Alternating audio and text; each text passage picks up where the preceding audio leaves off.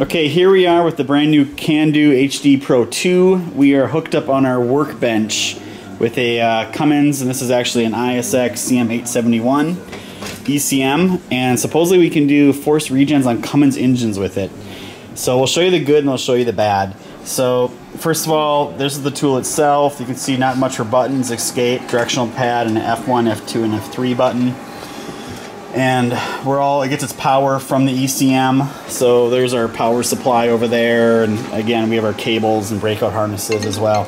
So um, let's get hooked up to this thing. So first of all we're just gonna go right here to diesel DPF you would use the arrow keys to move around. And now we can do DPFs on Cummins Fuso and Detroit. So let's do Cummins and we're just going to kind of follow the prompts here. So there's nothing to really pick him. We'll hit one. And then we'll hit start test. So we got some initialization going on. Now it's going to say action test.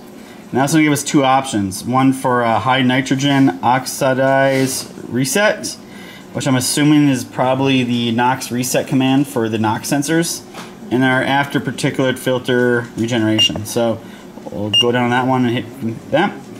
Um, it's asking now, engine running at idle, vehicle stop. I'm not really sure what's asking there. I've tried this before. If you just hit the OK button on number one or number two, it doesn't really seem to do anything. I think what's just telling you is make sure your engine's running at idle and your vehicle stopped.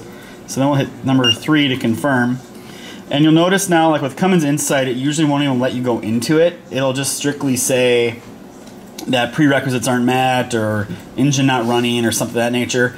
This tool just busts right into it and tries to go do the commands. So the good part about it is it does actually work. I, I know we're on our test ECM here, but we've gone out in the field and tested it. It does work.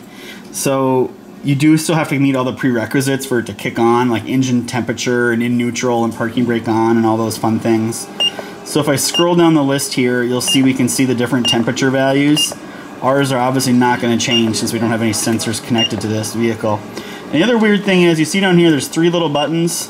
Um, there's that one, that one, and that guy there. And there's actually keys there that you have to hit. So, um, for example, if I hit F2 for show button details, it'll say start, stop, and back. Well, that actually correlates with those function keys in the previous menu. So it's a little little funky how they did it. I'll hit escape.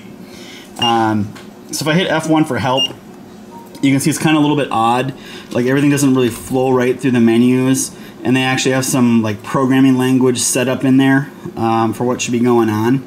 But it appears that you know they, they obviously have this functionality in some of their other tools. They just kind of copy and pasted it in here and made it fit with a smaller screen and new tool. So we'll exit out. And again, this button right here, I believe is actually, so I get to it, right there is the start button. And that's the so right there we hit start to try to start it. And then this is actually the stop button. So you can see um, that's kind of how that works. So when I go to the start button, you see it says test process up there. And when I go to this other menu here, it actually goes away because it's actually stopped. So that's how you'd start and stop it. And then to exit out of here was another challenge figuring that out. But you basically go down to that, whoop, that button there and hit OK, and it goes back a menu. And then you just kind of hit the escape key a couple times to keep going back out through the menus. So there it is, CanDo. Um, nice little tool. We'll do a regen on a Cummins, Fuso, and Detroit.